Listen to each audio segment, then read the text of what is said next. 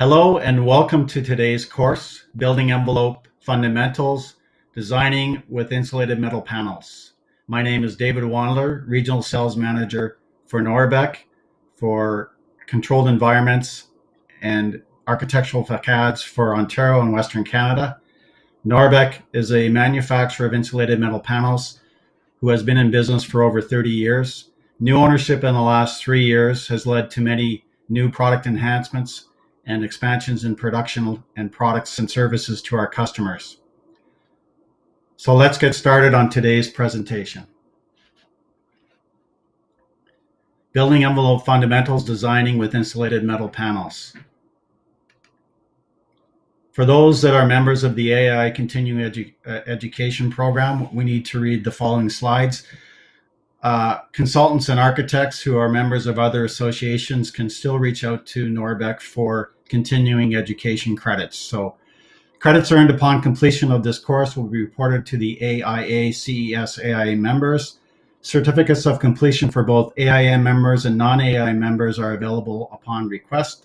This course is registered with the AIA CES for continuing professional education. As such, it does not include any content that may be construed or approved or endorsed by any of the AIA construction or any method of manner handling using distribution or dealing with any products. This course is approved by the CBCI for continuing education approval for this course indicates it will be monitored by CBCI to ensure that it upholds the quality, relevance, rigor, necessary to contribute to the ongoing learning in knowledge areas relevant to green building industry. Course description. Today we're going to discover how insulated metal panels can help enhance functionality of building performance. You will gain a better understanding of the insulated, insulated metal panel's constructability and physical properties and its visual and constructural attributes, efficiencies, advantages, and benefits for using IMPs in today's design world. Our learning objectives today will be to discuss the advantages of designing with insulated metal panels, recognize how insulated metal panels can offer the designer a solution for building envelope to resist varied and severe weather conditions, including fire, safety, durability, cost, energy efficiency. We will learn and understand jointed components in insulated metal panels. We will identify cost savings and efficiencies related to IMP installations in today's competitive market. We will identify how insulated metal panels can open up building concept to take advantage of their ability to adapt to existing structures and turnkey buildings. We will discuss how IMPs contribute to earning credits on LEED projects. And we'll review some interesting and exciting project profiles where insulated metal panels uh, made a tangible difference to its occupants and its owners. Our table of contents. Uh, first, we're going to review uh, an overview of insulated metal panels. Uh, we're going to talk about insulation. We'll learn about the rain screen in an, insul on an insulated panel. We'll discover steel uh, gauges, profiles, and coatings and finishes available for IMP. We'll look at some inspirational projects, uh, review some installation details, talk about some applications for insulated metal panels. Uh, we'll review insulated metal panel performance testing for code compliance, and we'll talk about sustainability. What you're looking at on this slide is a panel overview. You'll see that there's a polyurethane core, which is sandwiched between two sheets of galvanized steel. In the top portion, we talked about lamination adhesive. This would be used for mineral fiber panels only. So polyurethane fire panels, non-fire rated, and mineral fiber panels, fire rated panels. What we're looking at now is the manufacturing process for a continuous line for an insulated metal panel. You've got at the beginning two coils of steel, which the bottom coil is going to a preheat furnace. You've got your roll formers for the liner sheet and the roll former for the phase sheet. the sheets continue along and you'll see that there's a foaming nozzle which places the foam evenly along the bottom sheet of the steel. The two sheets of steel enter a heating and curing chamber. During the heating and curing chamber process, the foam expands and bonds to the steel. And then you'll see there's a flying saw, which saw cuts the steel panels to the desired length for the project. The panels then uh, exit the line and go to a packaging area. Insulated metal panels are simply rigid urethane foam sandwiched between two sheets of coated metal. The exterior sheet is a waterproof steel panel face, the interior sheet, the vapor barrier, and then the continuous insulation, one of the highest insulating R values in the industry. So we, we're looking at a single component building envelope solution. How do insulated metal panels meet the 10 building envelope fundamentals? So thanks to the intelligent and versatile state-of-the-art technology, continuous panels offer integrated, durable, and aesthetically pleasing solutions for building construction. They're the most cost-effective cladding solution while meeting and even exceeding building code requirements. Again, insulated metal panel is a single building component which provides a humidity barrier, a thermal barrier, a water is water impermeability, ultraviolet screen, resists lateral force, anti-pollution barrier, snow load resistance, is an acoustic barrier, fire resistance, and air barrier. Now a little bit about the chemistry uh, of the foam uh, polyurethane, which is PUR, and polyisocyanurate. These two chemicals are similar, but not the same in formulation. There is a exothermic chemical reaction between the liquid polyol and polymetric isocyanate. Both of these contain polyol isocyanate, a blowing agent, a catalyst, and surfactants important part of these products properly performing in an insulated panel line is they must be premixed in temperature controlled tanks. If you recall on the insulated panel line, we were preheating the steel, bottom sheet of the steel. So temperature is important in the manufacturing process. The polyurethane or polyisocyanurate is injected between two faces and bonds. These materials do contain 3 to 4% recycled materials, for example, plastic bottles. If you look below, you'll see the formula, basic formula for polyurethane or polyiso. So you have your polyol, which is main function as a binding agent, your isocyanate, its basic uh, ingredient for polymetric chain required to obtain solid foam material. At the end, you end up with a thermoplastic material, which is the insulating core. A little bit more uh, breakdown on the chemistry of polyiso uh, versus polyurethane. You'll see the main difference here is that you've got two times isocyanate in a polyiso versus a polyurethane mix. Again, we'll you've got an isocyanate and a polyol mixed. They react and create heat and CO2. Heat causes the blowing agent to volatilize. The volatilized BA and CO2 cause expansion. Meanwhile, the isocyanate and polyur continue to react and polymerize, creating a solid foam. This is the important part here. The bubble, it's the bubble structure which holds the insulating gas that provides the high insulation value in a closed cell structure in a polyurethane or a polyiso foam. The circumvent helps displace the mixture on the surface, and the catalyst manages the, the speed reaction.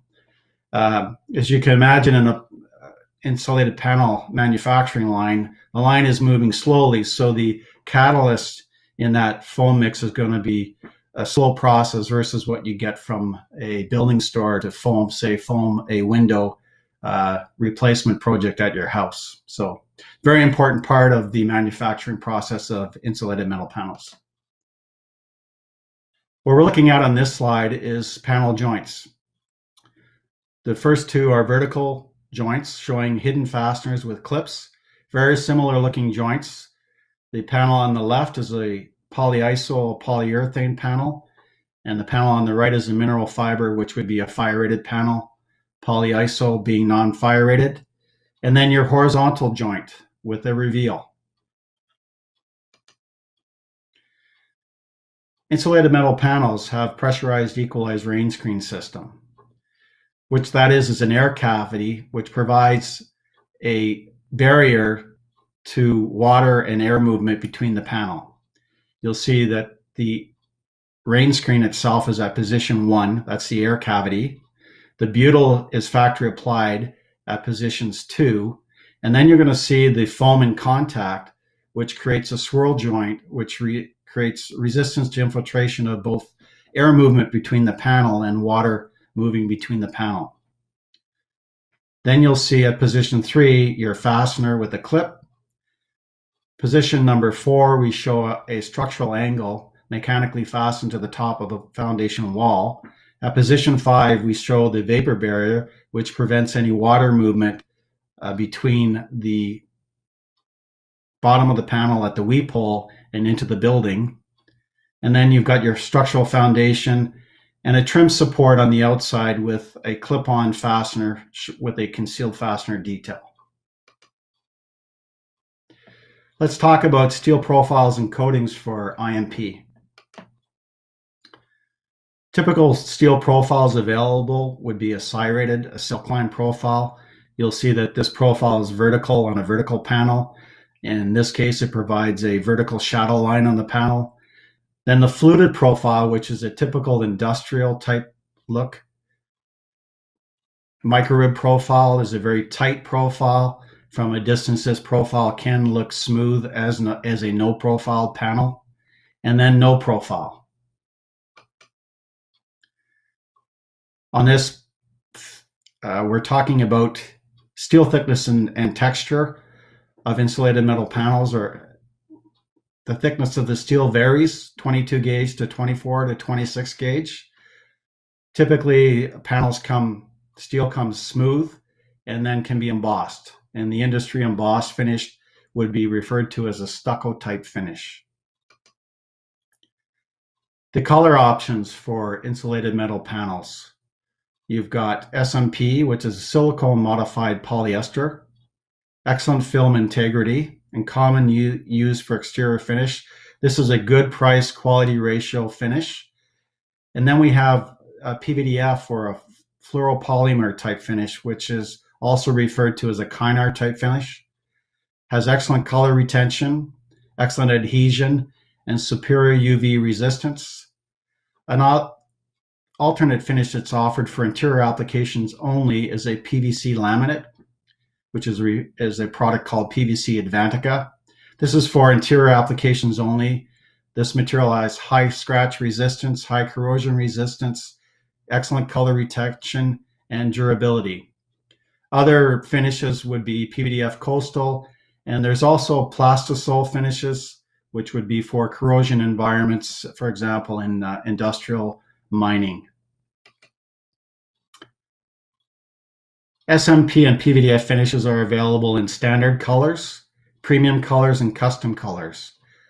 You'll see uh, the classic collection offered by this manufacturer is a series of colors which are offered on 26 gauge material, and then a premium collection which is more architectural type colors which are offered on 22 gauge material Custom colors would also be available in SMP.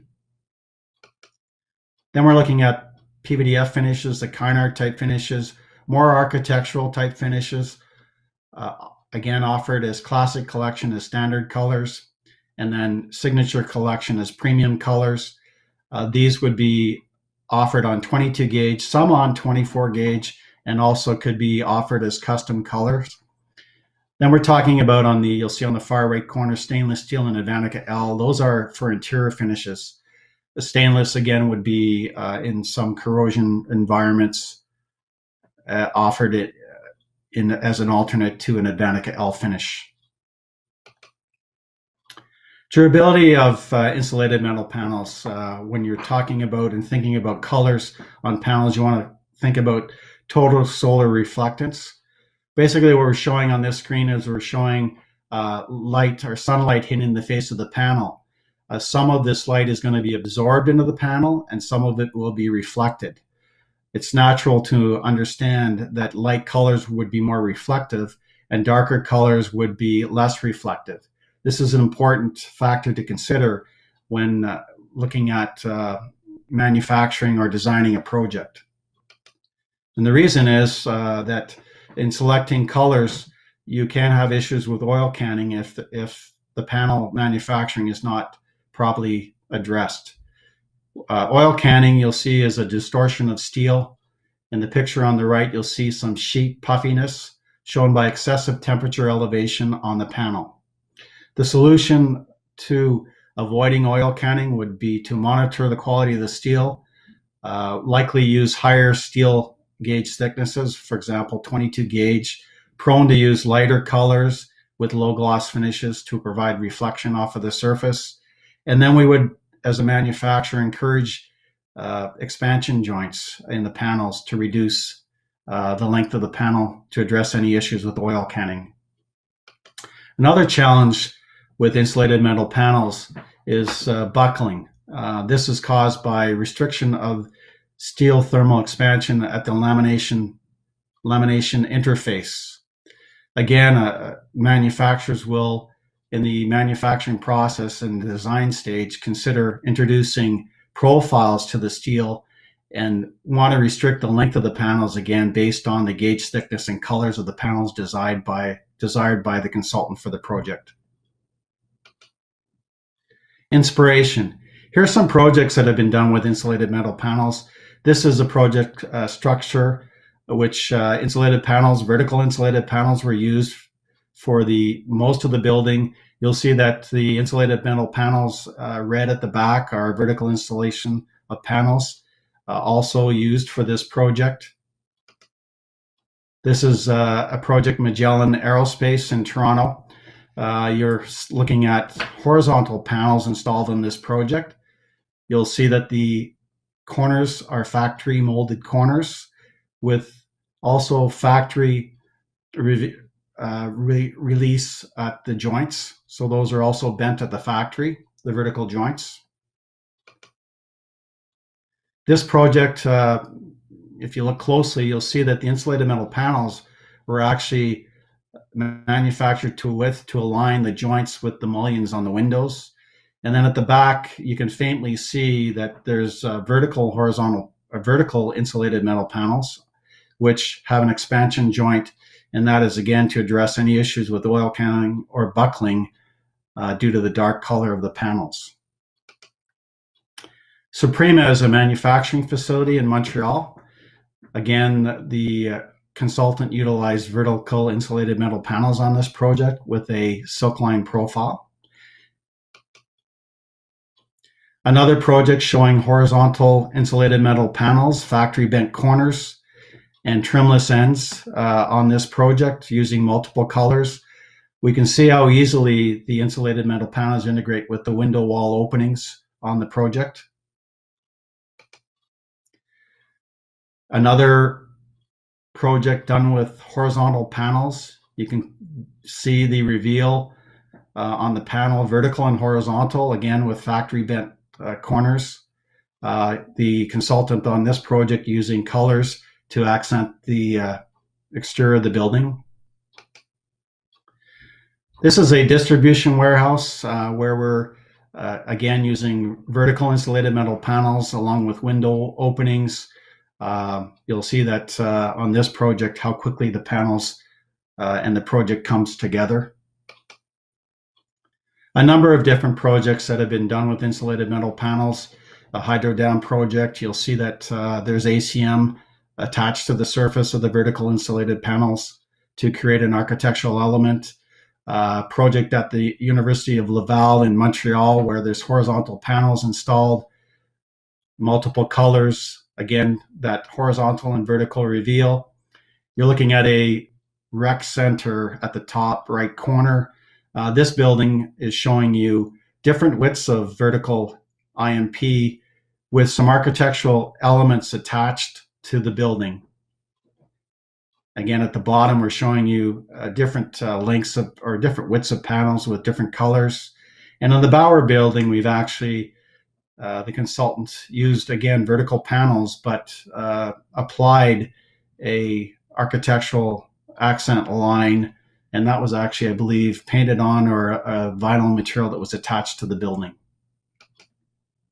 This is an interesting project, which is a courthouse in Montreal. Uh, it is a, again, it's a vertical panel installed. You'll see at different uh, depths into the pro into the project, providing some color and also some interesting architectural elements. Another project, a light commercial project done with horizontal IMP. Again, you can see those vertical lines and horizontal lines that match up to create uh, the look of an ACM material. This project is Place Bell. Uh, it's Montreal Canadiens farm team, AHL farm team. The consultant on this project, as you can see, was looking to use insulated metal panels in a circular shape. You'll see that uh, this was an actual engineered and designed solution and was achieved by using different widths of vertical IMP. When we're thinking about insulated metal panels and we and walls in general, and we want to validate the energy efficiency of a wall, we want to consider the effective R value. What we're showing on this slide is a vertical joint cross section on a vertical insulated metal panels. Again, you'll see that rain screen with the clip. In considering the effective R value at the joint of this panel, we know that the five inch panel, insulated metal panel has an R value of R35. On this particular slide, you can see that the inside temperature in evaluating, in evaluating the effective R value at the joint was 69.8 degrees Fahrenheit. The outside temperature at minus 20.2 degrees and in calculating the effective R value, we discovered that the effective R value at the joint on this panel was R32.6. So if you can imagine a vertical joint on an insulated panel every 42 inches, you can see that the effective R value is not far, is going to be over the entire wall, is going to be very close to the nominal R value of R35. Very high performing uh, wall system.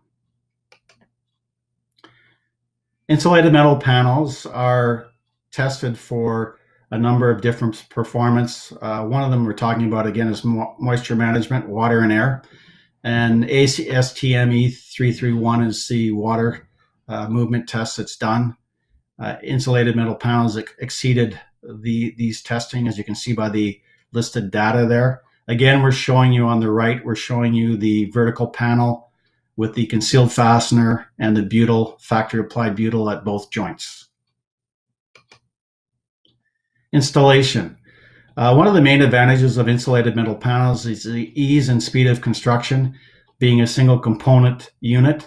It is a very fast piece of uh, material to install, and you're going to see this very shortly on a video clip soon. So insulated metal panels, as you can imagine, require less labor and mobile equipment on site. Uh, there's a reduced number of parts uh, that are put together versus a built-out wall assembly, which decreases the number of hours required to complete a project.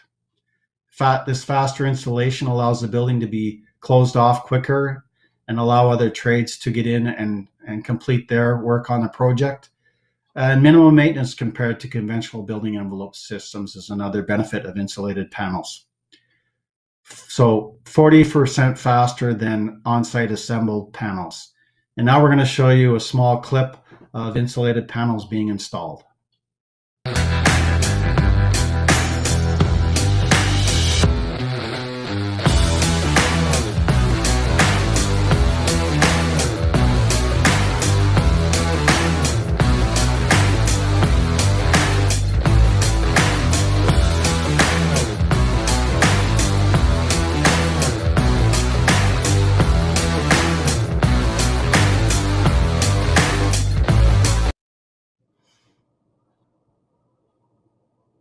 You'll see on that clip that there was looked like there was some rain coming down. So another benefit of insulated panels uh, is that they can be installed in all weathers, and you don't have to worry about any of the insulation getting wet and having to dry that out or wondering how that's going to dry out later.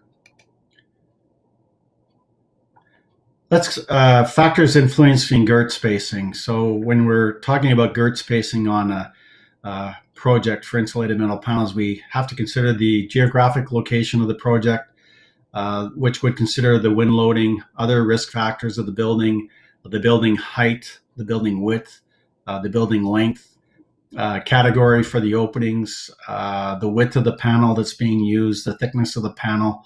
All these are factors that would determine the girt sizing and spacing on a project.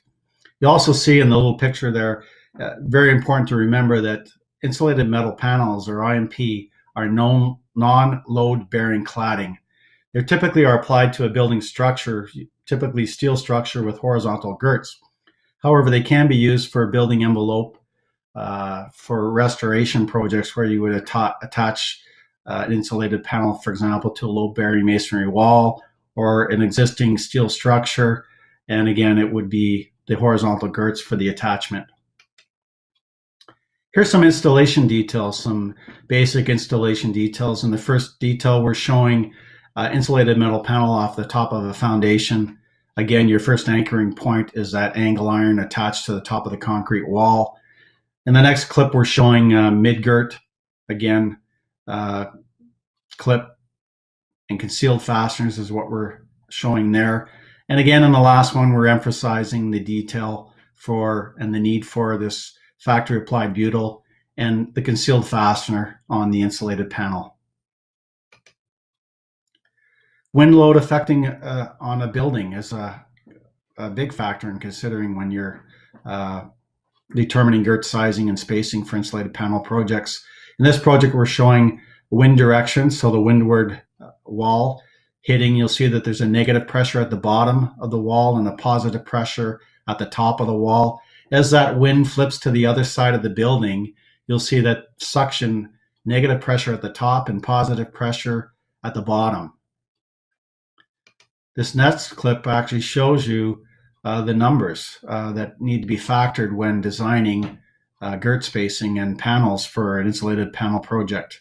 So you'll see 31.63 pounds per square foot pressure at the top of the wall and actually minus 28.18 pounds foot pressure at the bottom of the wall. Anchoring materials, typical anchoring materials for insulated panels would be for steel would be a self-tapping TEC screw. Again, we're showing you the clip and uh, the steel girt. Uh, insulated panels can be installed on wood structures, so you would have a wood screw uh, using the same clip. What we're really showing in this uh, picture here is the insulated metal panel thickness and the actual TEC screws going through the horizontal girt and the amount that's they're actually uh, penetrating through the steel there. Uh, this needs to be minimum one half the diameter of the screw. So this is what this we're really showing you there. So again, uh, the screw would, uh, length of the screw would depend on the thickness of the panel, but needs to penetrate at least one half the diameter into the horizontal girt. Here's some details for roof, roof junctions and construction sequence. The first one where you're looking at the insulated metal panels actually extending beyond the roof and with a plywood attached to the back is actually forming the parapet detail at the top of the roof. In the second detail, we're showing a detail which could be on a retrofit project or also could be done on a new project where you're using a light gauge steel wall with insulation to create the parapet with the IMP extending up and attaching to that structure. The last clip is just showing you a flat roof with no parapet detail. Technical details, uh, some more technical details here for corners. In this specific project, we're towing, showing you a detail using clips at an outside corner with a flashing which is applied with concealed fasteners. So there's a clip detail. So it's a clip-on corner flashing detail. We talked a lot about horizontal panels um, what we're talking again, a picture here we're showing you of factory bent corners. So insulated panel manufacturers do provide factory bent corners. The detail here we're showing you is the joint, the butt joint and vertical reveal in, an, in a horizontal panel. And we're showing you the trimless ends that are done and the detail at the structure to support the panel on a horizontal IMP project. Typical applications for insulated metal panels we've looked at and shown you a bunch of different projects. Of course, manufacturing facilities, uh, exterior and interior uh, IMPs are used on those projects. They're used as well on distribution warehouses, uh, schools, hospitals, religious facilities, aircraft hangars, office buildings, sport complex, many applications for uh, exterior building envelope and also interior applications. IMP performance and testing for code compliance. IMPs are, yes, are tested to meet the performance and testing requirements of the model building codes and insurance listing agencies. They are tested for fire, structural, thermal performance, form core properties, water penetration, and air pressure differential. Here's a list of uh, ASTM uh, standards uh, and FM standards. I'm sure that everybody's familiar with those.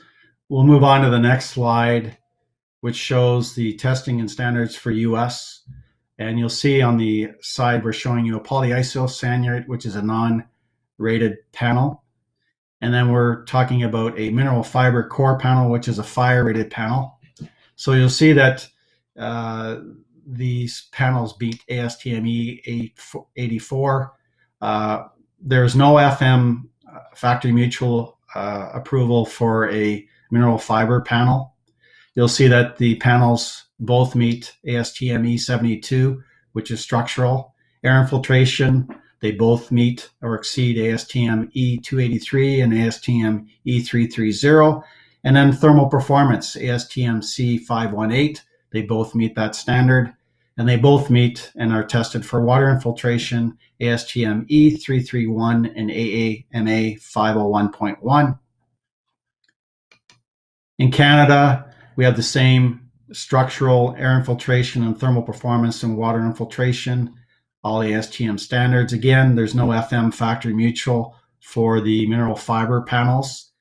Uh, different uh, testing for CAN ULC for Fire Canada, uh, ULC S101, S102, and S134, and S138 and S126.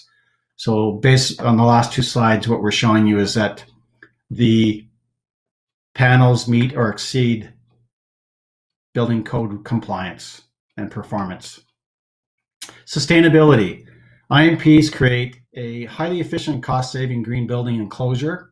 They contribute to a sustainable world by using high performance and energy efficient insulated solutions. LEED. Do IMPs uh, contribute to LEED? Yes. They provide a thermal, perf high performing building envelope. They bring huge difference to uh, zero ozone depleting potential. They often, the steel goes into IMPs has been recycled. Nearly all projects requiring low emission green construction come to IMPs for design.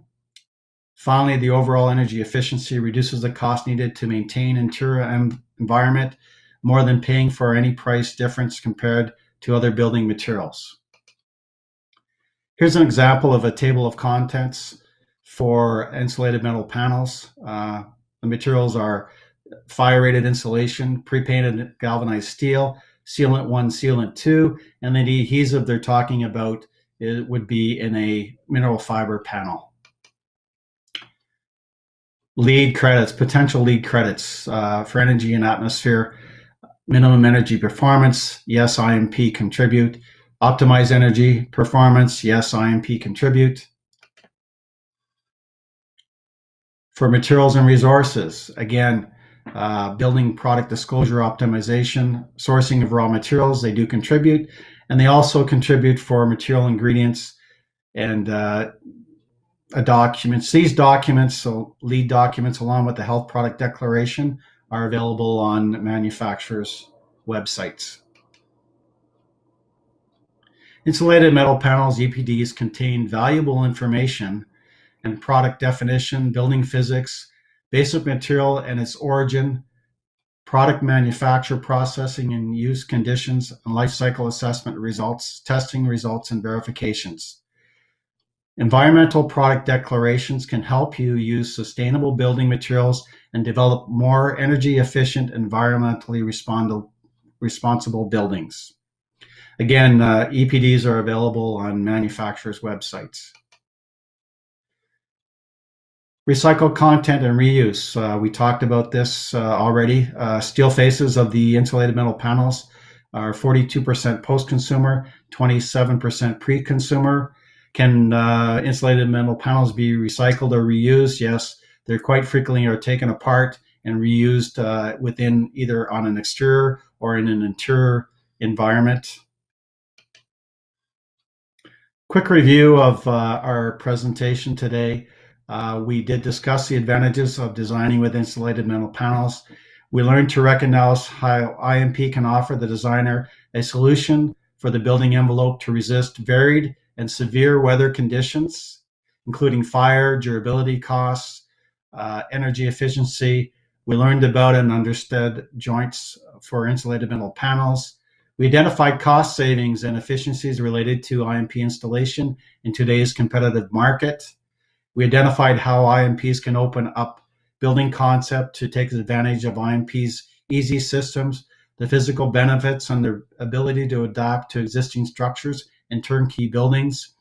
We discussed how IMPs contribute to earning credits on LEED projects, and we reviewed some interesting and exciting insulated panel projects where we were able to create a tangible difference to the occupants of these buildings, identifying and solving potential issues ahead of time, and providing solution driven options to the design community.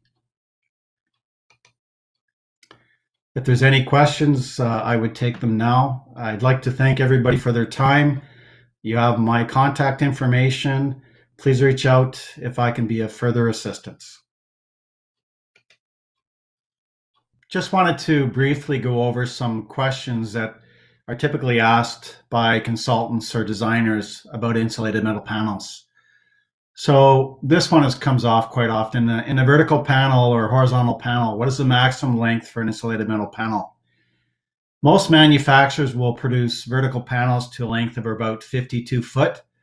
Again, as we discussed uh, during the presentation, we talked about colors and profiles and how they would impact and widths of panels and thickness of panels, how they would impact lengths of panels. Um, it is possible to produce a panel to the maximum length of 52 foot. It may require a, for example, 24 gauge on the exterior and 26 gauge on the interior, and would likely be produced with a light colored panel, SMP type finish, with some type of profile. So either a silk line or a micro rib or a fluted profile not likely to be produced with no profile at that length. Here's another great question that's asked. Uh, in fire rated panels, what fire ratings are available? So mineral fiber panels are typically produced in four, five, six, and eight inch thickness. Some manufacturers in a four inch panel thickness offer a one hour rating. Others offer a one hour rating in a five inch panel. And six inch panels would be two hours and 8 inch panels would be a three hour rating. These panels would not be produced to a maximum length of 52 foot. They would typically be, be produced at about 40 foot. Manufacturers also require on fire rated panels because of the adhesion of the panel versus the bonding between the steel and a polyurethane or a polyiso panel because they're glued together, they would restrict the profiles available for fire rated panels. These would be typically silk line or micro rib profile. Another great question is what is the thickness of available in polyiso panels? So polyiso panels for most, most manufacturers are available in two inch, three inch, four inch, and five inch and six inch thickness. So as you can see, a six inch panel is going to give you an R value of about R42. These panels are also available in various widths, as are horizontal panels. In the case of horizontal panels, they would only be available in two, or sorry, three, four, and five inch thickness. Hope uh, there's any other questions. Again, you can be free to feel out to me with or reach out to me with an email, and I'd be happy to send you and answer send you any technical documentation you require and answer any questions that you have. Thank you very much.